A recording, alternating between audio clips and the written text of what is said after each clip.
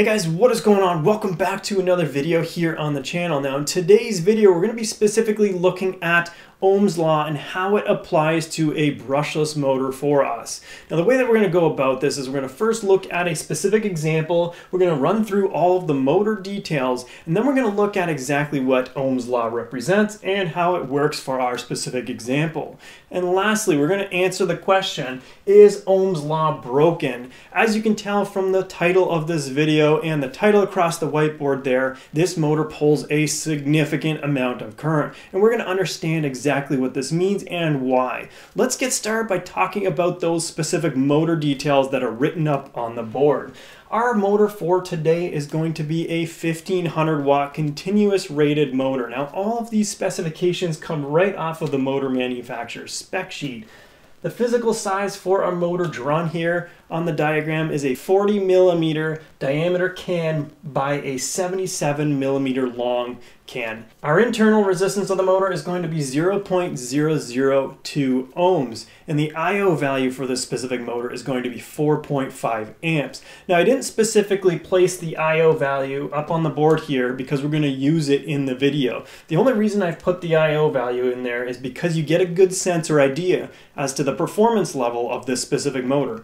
As soon as you see a high IO value, and this one being 4.5 amps, anywhere around 4.5 amps to about the 5.5 amp mark is quite significant. And if you see a very low amount of internal resistance, you know this motor can pull a significant amount of continuous current. Now one thing I need to bring your attention to is the specific kV of the motor. This is a 3300 kV motor. Now the reason why that's important is because most motors around the 28 to 40 millimeter diameter size is going to be limited to about 60,000 RPM maximum. Now if you take that 60,000 and you divide it by the 3300 kV, you get the voltage maximum of this specific motor. That works out to be about 18 volts, which tells us that the only way this motor works is by using a 4S LiPo. A 5S LiPo would actually go above and beyond that 60,000 RPM, and that is not acceptable.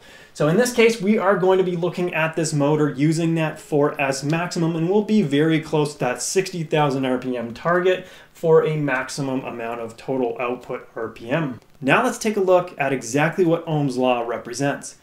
Ohm's law is defined by the formula V equals IR, and a lot of you are probably familiar with that or have seen that represented using different characters. V is equal to our voltage where I is our current and R is going to be the resistance. Now to get a good understanding as to how this formula works, what I like to do is imagine if you kept the resistance component here the same and you did two comparisons. So for that comparison we can simply just say that R is equal to 1, 1 ohm. And then we're just looking at what happens to the voltage and the current as we change that. But we're keeping that resistance the same for each case. If we drop the R from our formula, we essentially see that V is equal to I. What this allows us to do is see that as soon as we go and increase the amount of voltage, if voltage went from 10 to 15, we expect that I has to match that proportionally. So what that essentially allows us to do is say that the voltage and current are directly proportional in a linear relationship. Now let's take a look at our specific example and start plugging some numbers right into our formula. So the way that we do this is the voltage is going to be our nominal voltage of a 4S battery pack, VNOM 4S, is equal to I. I is going to be the current that we're actually trying to calculate, and then Rm is the resistance of our motor, and that is the winding resistance of our motor if you were to measure any two of those three leads. When we go ahead, plug those values in, we get 14.8 is equal to I multiplied by that 0.002, and that is ohms in terms of our internal resistance of the motor. And then we go and rearrange this formula so that we get I on its own. I is equal to 7,400. And all I did here is take 14.8, I move this to the other side by dividing it out, and I get that 7,400 amp result.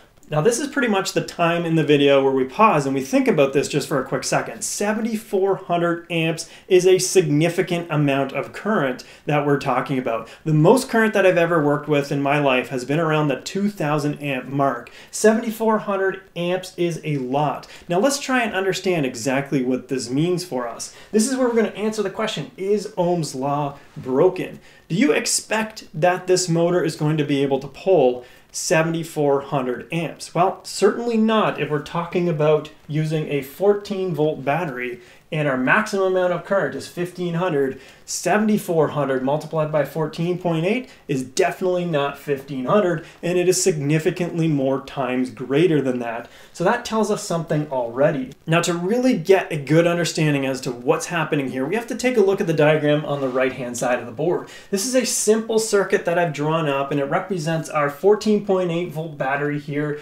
located on the left side of the circuit. We have our speed control, which is acting as a switch within the circuit. Remember, this is a simple circuit. And then we have a resistor here, and then we also have our inductor on the right-hand side of this diagram. Now, if we're taking a look at this specific diagram, what I want to do is actually draw a box around these two components, because these two components are the important components that both represent what is happening within our motor.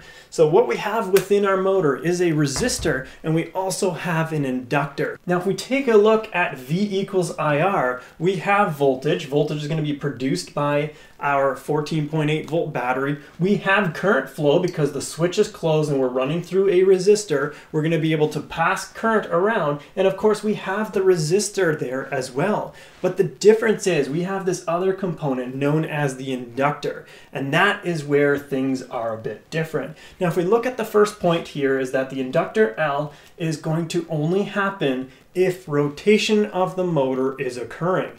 As long as that motor is not moving, there is no inductor within our circuit. That inductor only comes in when that motor is under mechanical movement and is rotating. What this tells us, if we want to look at V equals IR and we know that the inductor is only there when the motor is rotating, let's assume that the motor is not rotating. Well, what happens is we essentially get rid of this inductor component within our circuit and then we're left with the rest of this circuit, which means we have our battery pack, the speed control, as well as our resistor within the motor. Now, if you turn all the power on and you start applying full throttle, that means all that power is going to go straight to that motor. Now, if that motor is fixed and cannot actually rotate, that's where you are going to actually draw that 7400 amps. Now, if this actually happened with this specific motor where you held that shaft fixed and you applied 100% throttle at 14.8 volts, that motor will try to draw 7400 amps. And i can guarantee you that something is going to go wrong. Nothing within this entire circuit is going to be able to handle that for probably more than a split second so that is going to tell us that in this case that's a big problem now that we understand exactly what happens when the motor is locked in position, let's talk about what happens when that motor is free to rotate as most motors are.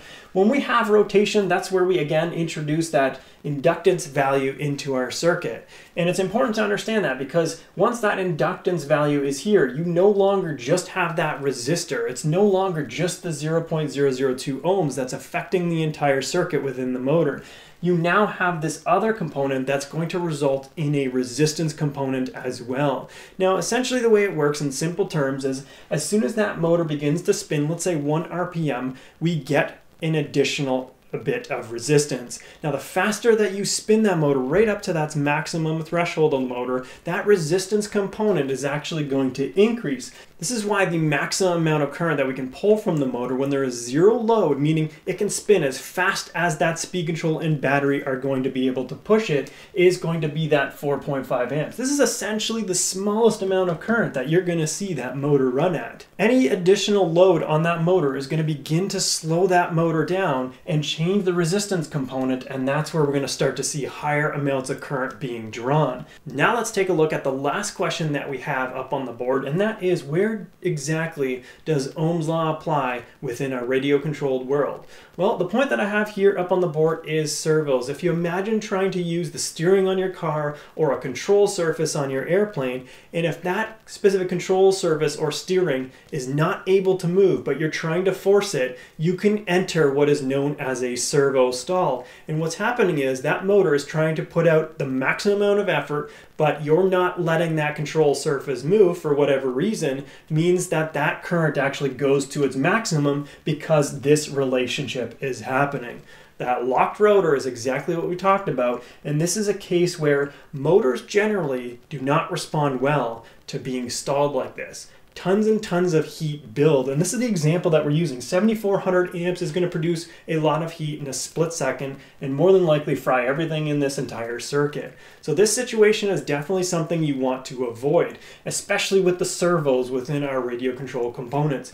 This is a good idea to always oversize your servos so that you don't burn that motor out and risk stalling that servo. In addition to the safety of the actual servo itself and not overloading it, if you stall the servo, you are essentially giving up any amount of control that you would otherwise have. If you have a stalled control surface, that airplane is more than likely going to come down and fall out of the sky. You want to be certain that you're not overloading your servos and entering that stall condition. And to answer that last question we have up on the board, is Ohm's law actually broken? The answer to that, of course, is no. Ohm's law is not broken. It's telling us exactly what we expect to see. And this is, of course, where we can get into significant amounts of trouble. Let's try to avoid this with all types of motors that we use in RC. Now, I hope you enjoyed the video. If you do, smash that like button for me. And don't forget to hit hit that subscribe button so that I can see you in that next video.